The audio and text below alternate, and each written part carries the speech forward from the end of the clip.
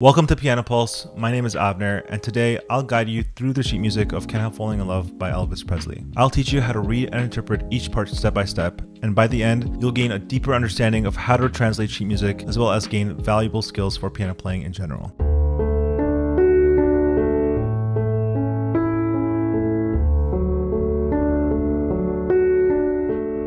The first thing I do when learning a song is look at the left side of the sheet music.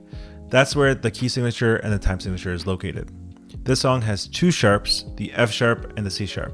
That means we're playing in the D major scale. Now, as a beginner or early intermediate, you may not encounter this time signature too often. You usually see 4 over 4 or 3 over 4, but it's really not that complicated. The 6 basically means that there are 6 beats in each measure. The 8 means that the 8th note has a value of 1 beat, and the quarter note has a value of 2 beats, the half note has the value of 4 beats. If this is confusing for you, go check out the videos in the description below, because in those videos I teach you all the basics you need to know to be able to learn this song. So let's start with the first measure of the song. The first note in the left hand is a D. I'm holding that down for 6 beats because the note is a half note plus a dot, which makes it 6. So 1, 2, 3, 4, 5, 6. The next note is an A. 1, 2, 3, 4, 5, 6 then D again. One, two, three, four, five, six. One, two, three, four, five, six. The last D is tied to the first D, so you don't play that. The first note in the right hand is an A, then a D, then an F. You're going to use these fingers. First, second, fourth, down to a D, then an A again. The next measure is an A, C sharp, E, C sharp, A.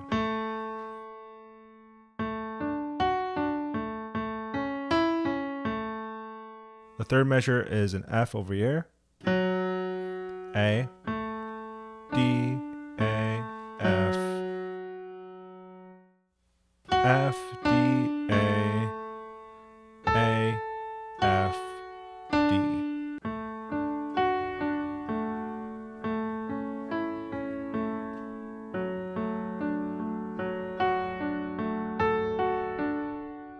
Now there's like a lot of notes here, but it's actually not really hard to memorize because in the first measure, you're playing the A, D, and F sharp.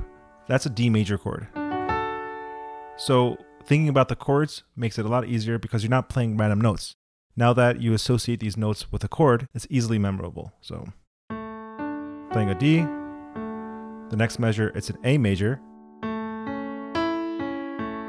right? A, C, E, the next measure, you're playing a D again, just in a different way, right? You're playing DFA, but you're playing FAD instead. So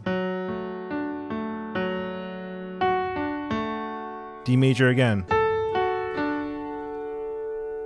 Now, when playing, counting, and thinking about the beats is super important because then you'll be able to play it smoothly, being able to play it like cohesive, it'll actually sound like the song. So, in the first measure in the right hand, there is an eighth note rest.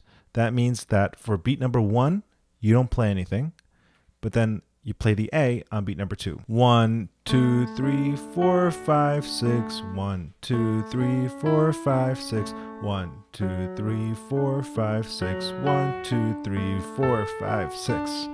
Now, let's put both hands together. Playing the left hand, you're playing all the notes on the one beat. So the D will be one, A will be two in the right hand, three, four, five, six. One, two, three, four, five, six. One, two, three, four, five, six. One, two, three, four, five, six. If you're not an experienced player, this may be a little difficult, but it's very, very doable. There are a few strategies that I use with my students to get them to be able to play songs just like this. I have them play very slowly and make sure that they count. And while they count, they're counting in a very steady manner. They're not going one, two, three, four, five, six, right? They're not playing it like this. One, two, three, four, five, six, one, right? That's completely wrong. That doesn't sound like the song at all. What you have to do is count like you're on a machine. One, two, three, four, five, six. One, two, three, four, five, six. There's no stopping, no pausing. And in that way, if you're able to do that slowly, you just speed it up, count a little faster, and you'll be able to play it on time. The next strategy that I use is playing it section by section or measure by measure. First, I'll play the first measure with them. Play that like three times. Once they get it, we go on to the next one. Then we add both of them together. Then go to the third one, add play all three, fourth one, and so on. So that was the intro. If you like this tutorial and want to learn the rest of the song, go check the link in the description. Also, don't forget to subscribe to this channel if you're really serious about learning piano.